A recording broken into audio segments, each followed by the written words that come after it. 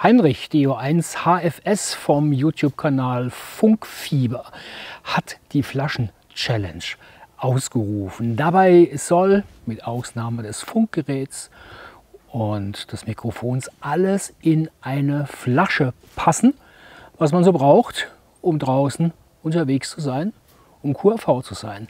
Die Challenge nehme ich hier an, auch unter ja, eingeschränkten Umständen, denn äh, ich habe nur das hier, was ich hier habe im Urlaub und jetzt muss ich einfach mal in die Kiste schauen oder ich habe schon in die Kiste geschaut, was die denn so hergibt. Zuerst hier der eigentliche Transceiver und das Mikrofon.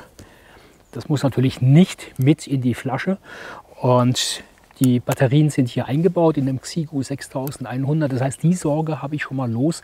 Das muss nicht reinpassen. Die Flasche selbst, ja, so was Tolles wie der Heinrich habe ich nicht. Ich habe hier eine Flasche Contrex. Hier oben passt nichts durch. Ich nehme einfach die Freiheit und werde es hier gleich mal aufschneiden mit einem, einem Teppichmesser. Dann ist es oben ungefähr so groß wie die Flasche, die Heinrich gezeigt hat. Ja, was habe ich noch?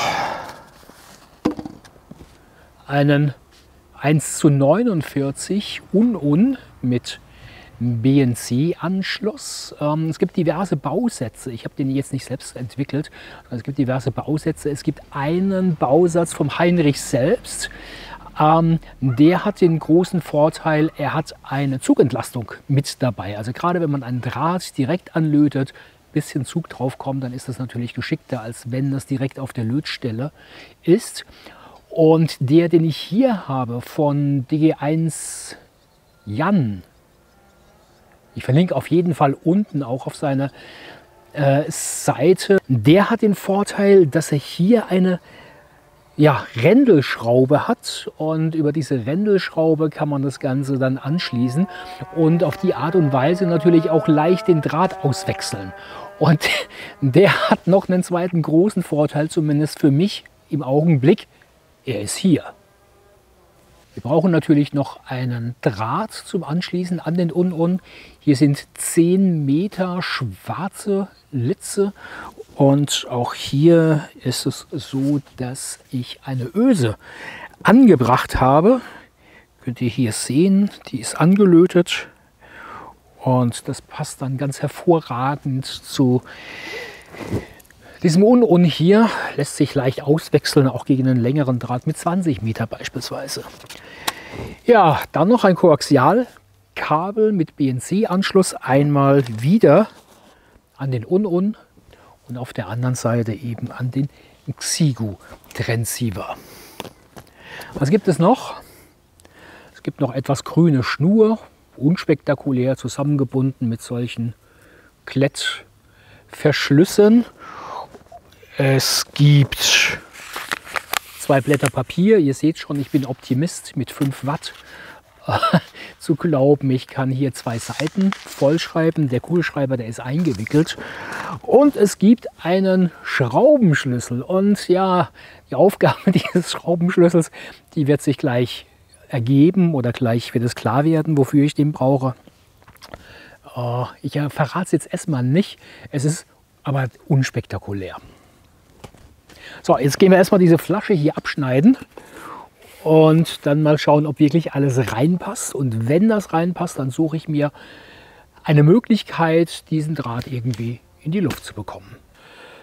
So, jetzt sollte hier ein Teppichmesser sein. Hier. Einfach mal an der dicksten Stelle aufschneiden.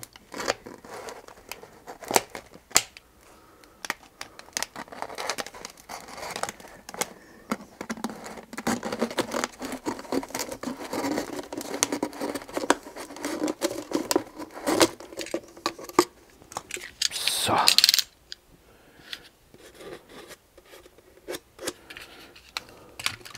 Auch keine scharfen Kanten. Ja, dann schauen wir mal, ob das passt. Jetzt wird es spannend. Eine Idee, die mir gerade kommt, vielleicht passt das Telefon ja rein. Nee, leider nicht. Schaut mal, das ist sehr ärgerlich. wenn die Flasche etwas größer wäre, ich weiß nicht, ob das in Heinrichs Flasche passt, dann hätte man die Problematik mit dem Logbuch und ähm, FT8 elegant gelöst. Habe ich jetzt nicht. So, das Koaxialkabel.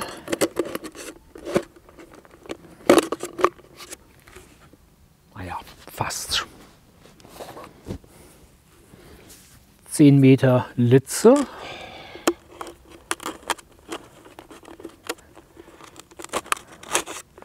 Definitiv. Die grüne Gartenschnur passt auch.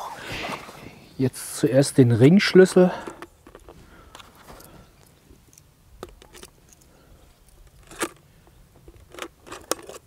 Der Un-Un. Und das knistert jetzt etwas. Das Papier für das Logbuch. Hm, knifflig.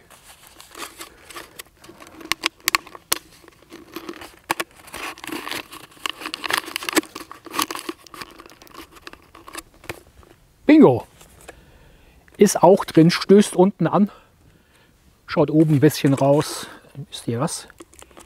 Ich stecke das so rein, drücke den BNC-Anschluss hier runter und dann passt wirklich alles in diese Flasche rein. Und ja, da wäre noch ein bisschen Platz für Wasser, Cola, Kaffee, was auch immer. So, jetzt suche ich mir, wie das klingt, jetzt suche ich mir einen Baum. Ja, lassen wir den Blick schweifen, was ich hier finde. Bäume gibt es wirklich genug.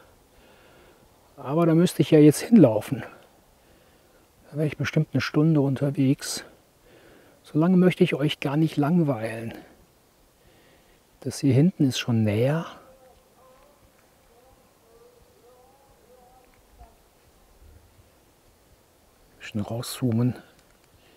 Das hier hinten ist noch näher, aber so hoch kann ich gar nicht werfen. Schwierig. Ah, das Kinderhaus. Das hier. Ich glaube, das wäre der Baum, den ich benutzen möchte. Er ist keine 10 Meter entfernt, das ist ein großer Vorteil. Und er hat noch einen zweiten Vorteil ignoriert mal die Schnur von, diesem, von dieser anderen Antenne. Das ist hier höher als dort unten. Das sind bestimmt noch mal vier Meter Höhenunterschied. Das heißt, wenn ich hier etwas in den Baum werfe, habe ich von vornherein schon mal vier Meter Höhe gewonnen, wenn ich mich dann später hier runtersetze.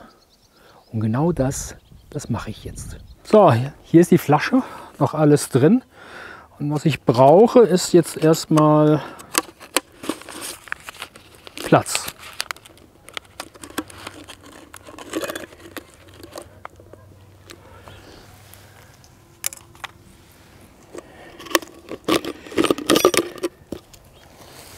Nichts wegwerfen.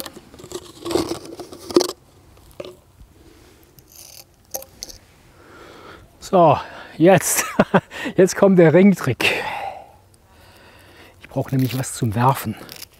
Ich mache hier diese Klettverschlüsse auf. Wie man eine Schnur wirft, das habe ich aus einem Video von Heinrich auch gelernt. Ich machte das immer auf eine wenig zielführende Art und Weise, wie früher im Schulsport das Ballwerfen. Hat natürlich nicht funktioniert. Ging noch schnell, oder? So, jetzt durch den Ring hier durch einen Knoten machen. Und jetzt, so wie ich das von Heinrich lernte, die Schnur hier hinlegen, schön locker.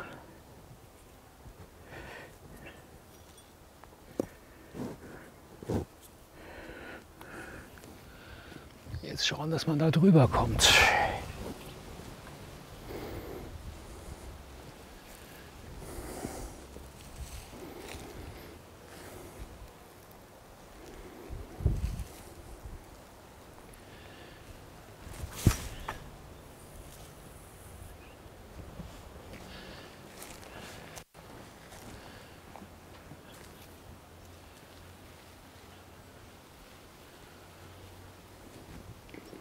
Das reicht mir. Das ist, glaube ich, gut genug. Jetzt kann ich hier das Ende meiner Endfett dranhängen, das Ganze hochziehen. Und dann gehe ich mal runter und versuche den Transceiver einzuschalten.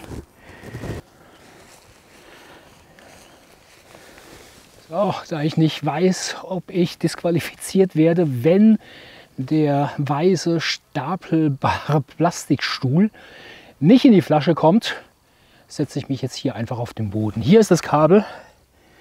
Da muss jetzt der Un-Un ran.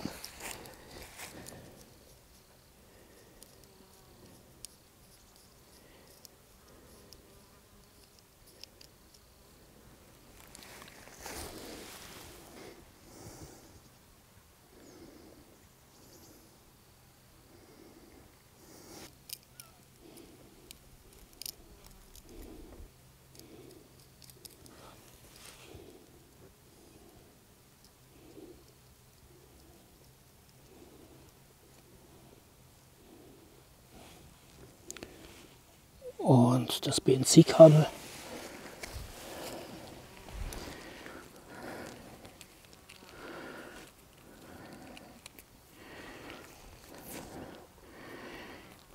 Den Kabelbinder stecke ich gleich in die Flasche zurück.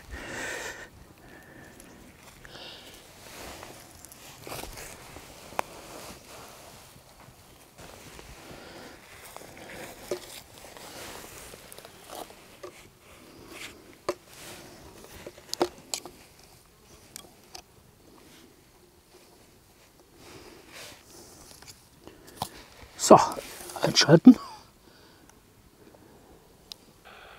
Ja, man hört auch den Weidezaun. Ah, so ist besser. Hier seht ihr die 1577 in AM vom Shortwave Radiogramm, das ich hörte. Jetzt gehen wir mal auf 40 Meter.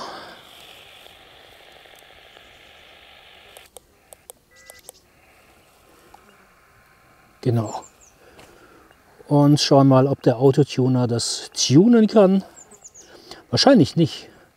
Und wenn er es kann, dann kommt wahrscheinlich keine Leistung mehr raus. Hier.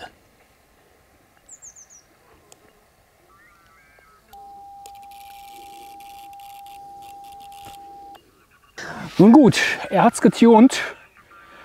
Ob da noch was bei rauskommt, das wissen wir nicht.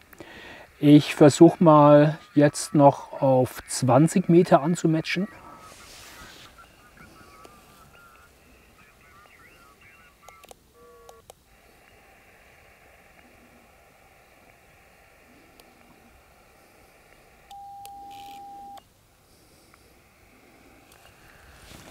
Das hat er gemacht, problemlos, wundert mich auch nicht. 15 Meter, wir werden sehen, aber 10 Meter wird ganz bestimmt wieder funktionieren.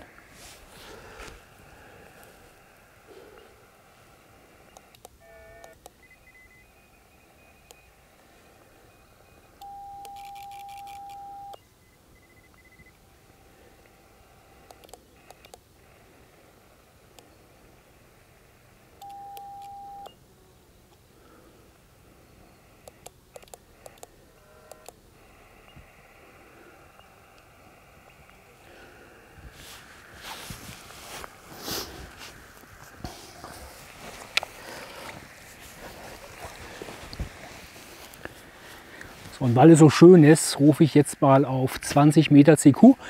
Ich habe ja hier was als Logbuch und mal sehen, ob was kommt.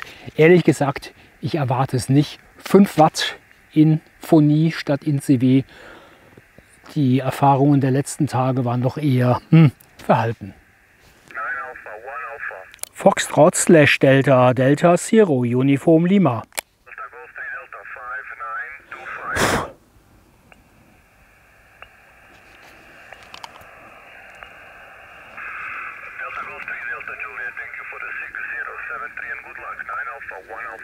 Foxtrot slash Delta Delta Zero Uniform Lima. Foxtrot slash Delta Delta Zero Uniform Lima. Delta Delta Zero Zero Zero Zero Uniform Lima. Roger, roger, roger. Delta, Delta Zero, Uniform Lima, five, nine, two, five. Thanks for 5925 5901.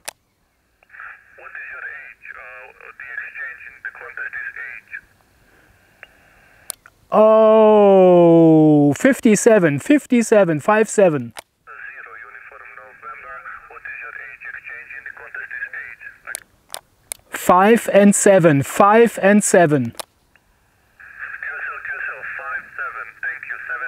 good luck. 9 Alpha, 1 Alpha. Chaka. Okay, 6 Victor, Florida, Florida. jetzt wollen wir das noch ins Logbuch reinschreiben.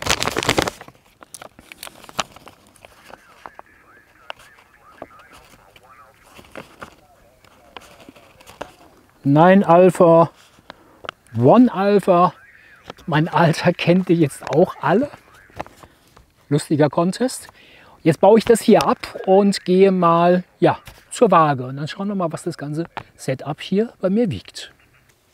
Jetzt kommt also alles wieder in die Flasche rein. Wir haben zuerst das Logbuch mit dem einzigen gelockten QSO. Kugelschreiber. Und ich stopfe gleich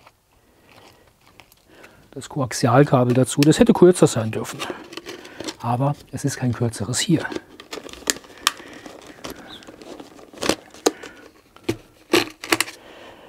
So, der grüne Draht und der Antennendraht.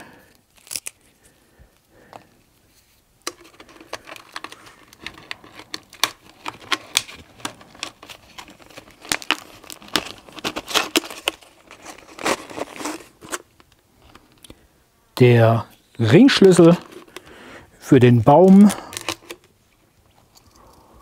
und der Un-Un. So, jetzt ist alles da drin und wir wiegen es.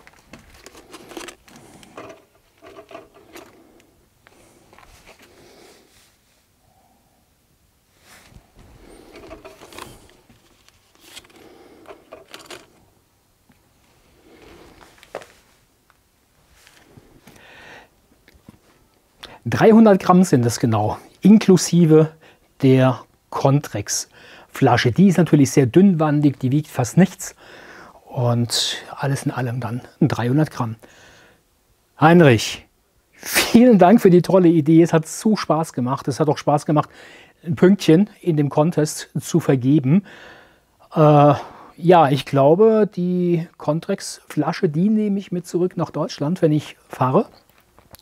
Die wird mich dann beim nächsten Field Day begleiten und äh, vielleicht, da ist ja noch viel Platz, vielleicht auch mit einem 20 Meter Draht. Dann gibt es einfach mehr Möglichkeiten. Und allen anderen wünsche ich angenehme QSOs 73 und bye bye. Ich weiß gar nicht, ob ich noch im Bild bin.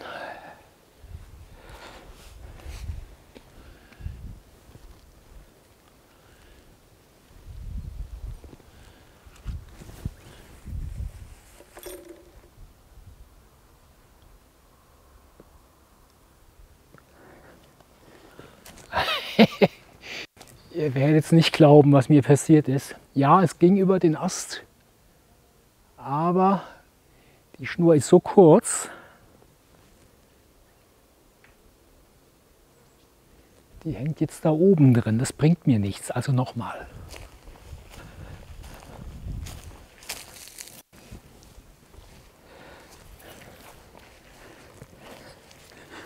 In der Flaschen-Challenge wurde nicht verlangt, dass es beim ersten Mal klappt. Was ich machen werde jetzt, ich nehme das Ende hier einfach in die Hand.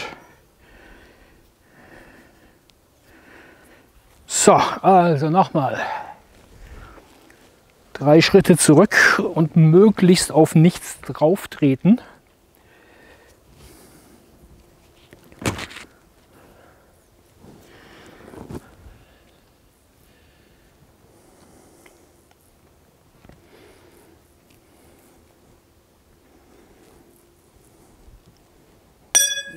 Das war nichts.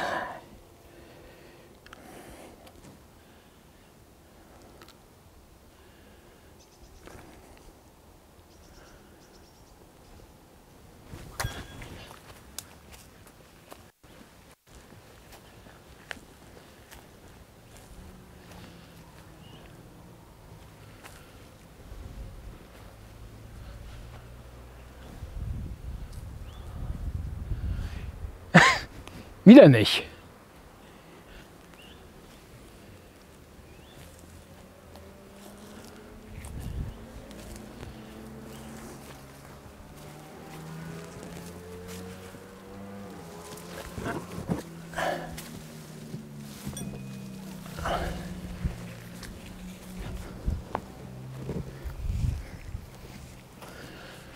Nochmal versuchen.